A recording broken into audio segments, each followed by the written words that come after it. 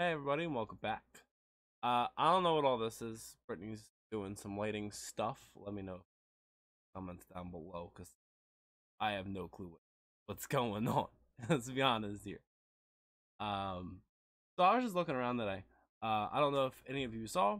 Brittany recently upgraded um from a Razer Seiren X mic or Siren. I don't know how to say it yet. I had it for about a year and I still don't know how to say it, so I'm never gonna learn how to say it. But it's either a siren or a. So.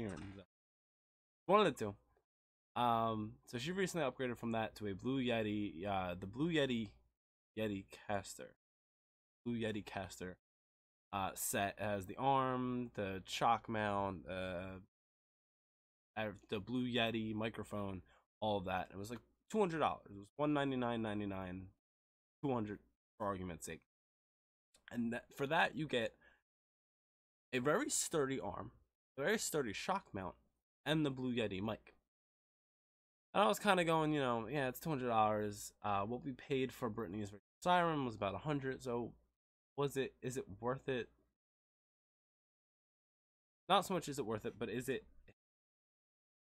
Was it worthwhile to even get the siren in the first? So, I have the siren right here, you know, in my hands. It's pink because the pink one, of course. Match everything else she has. And I went on today and I just I as you can see I literally just googled Razer Seiren Pink and these popped up. So on the official, you know, Razer website for the quartz siren, 99.99 US USD. So 100 bucks. That's half the price of the Yeticaster. Now with the Yeticaster, I I cannot stress this enough. I have it pulled up right here. 200 bucks, get the mic, shock mount, arm, all the goodies that you could possibly need to start recording like immediately. Um, for $100, get the Seiren mic. That is not 360. It doesn't come with any of the controls.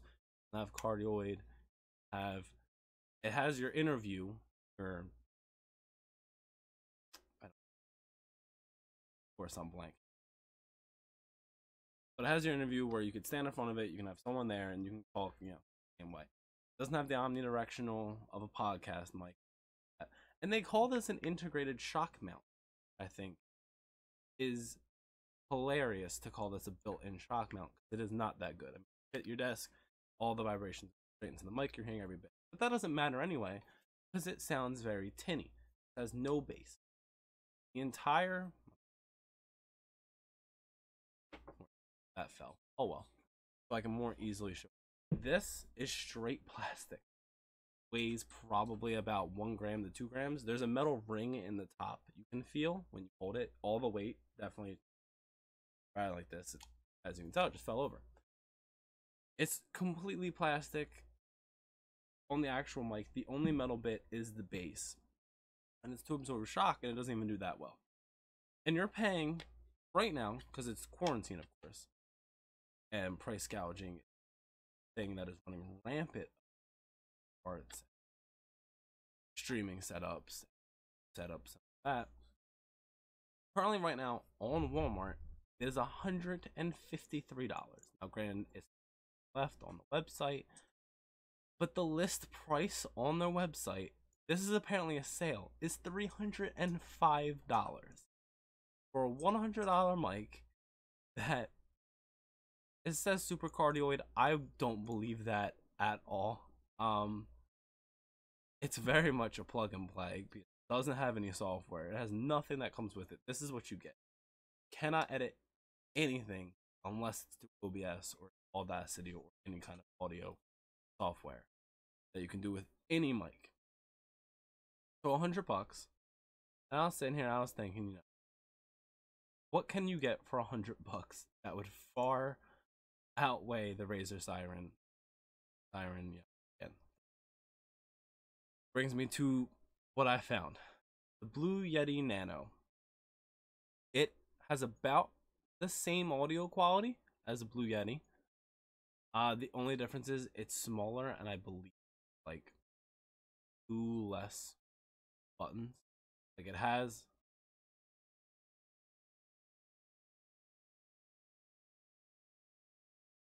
patterns. So it only has cardioid, only has omnidirectional. So you don't have uh, the interview mode where you have the front and the back, but it cuts out the sides. And then you don't have, I don't even know what that other one is. I just checked out the patterns. I don't even know what the other one is. I don't use it anyway. Cardioid's the only one I um, because I want to block out anything behind, and it also does a pretty good job of cutting out things below. Not the best, but it does a, a fairly good job of it. Everything else can I can kind of post. Um, I'm still learning do it in post, but you can do it. So I was wondering, you know, do you get the Yeticaster as someone that's looking for a mic, ready to come in? I know this is unavailable for this random place that it put me in. I don't know why it put me. There. But and then it says act fast on. So I don't get it. It's Best Buy's website. It's a little funky. That is a video for another time. If I ever want to go on an hour long complaint, Best Buy. Anyway, so 200 bucks, you get the whole setup, put it in, you're basically ready to go. The only thing I would recommend doesn't come with the setup hot filter for your dust so it doesn't get in the mic and doesn't start corroding parts faster than they already do. And they, they really don't corrode that fast. They shouldn't. It's more so just a protective thing. And also to protect from your spit. Because you spit when you talk sometimes. Um so this, you know, like I said, three pieces. Basically everything you need besides pop filter started. We go to Amazon to find just the Blue Yeti mic. It is the exact same mic that is in the setup, except it has this stand that's on a desk instead of an and right now during quarantine, this is the cheapest I found on Amazon. Is 193. Now, you can find it on Best Buy again for 130, which is its price. That is its, you know, the Blue Yeti web official website has it marked at $100. And for $130, for $70 more, you're getting an arm. Look it up now. Why not? Blue compass arm. Let's just look it up now. Why not? 100 bucks at least.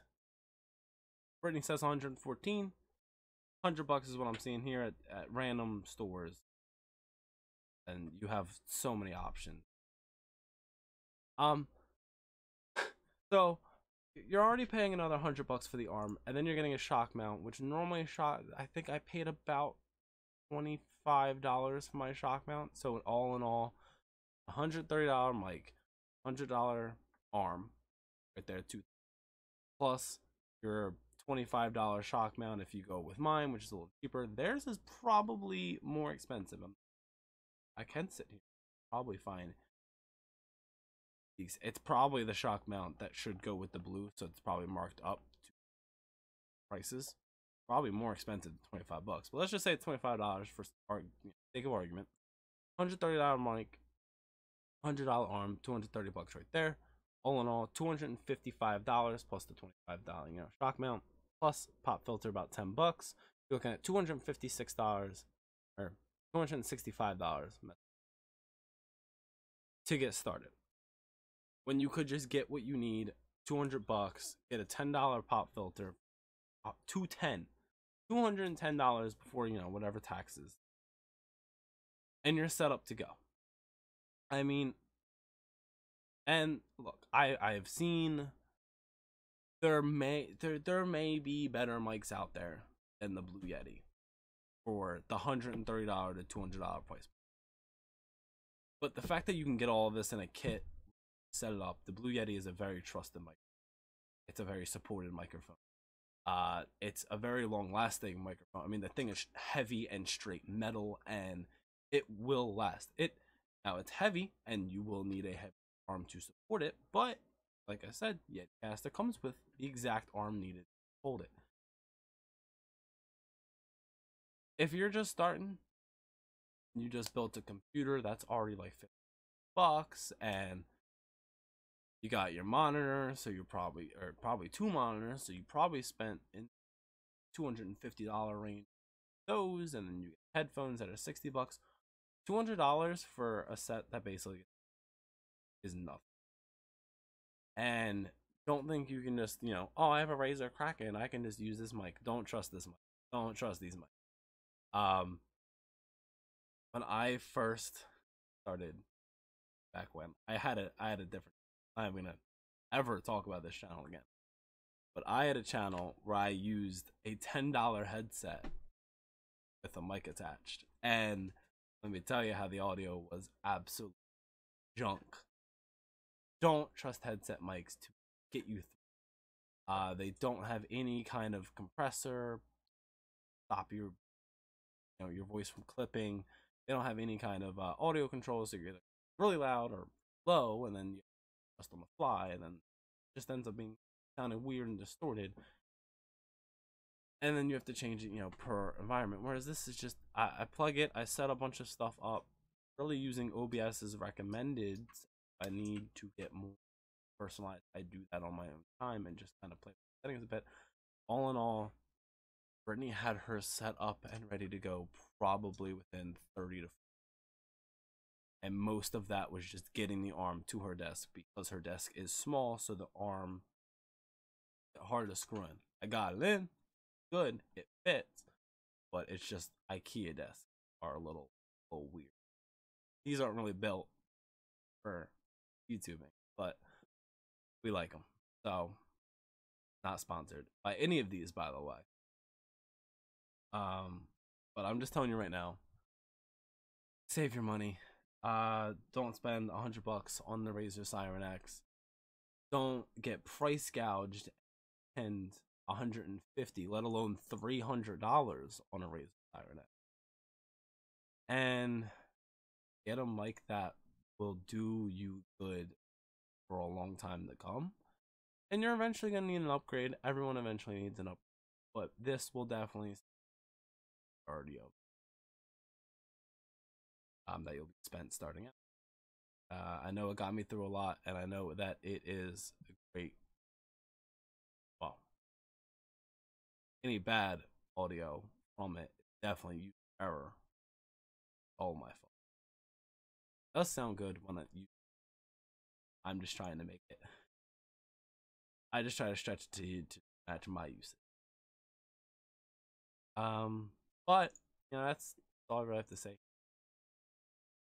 Uh, if you guys did enjoy this video, please leave a like down below. Comment what kind of mics are you, you know, you looking at getting, and I, maybe I'll check them out. I don't know yet. I have a wedding to save.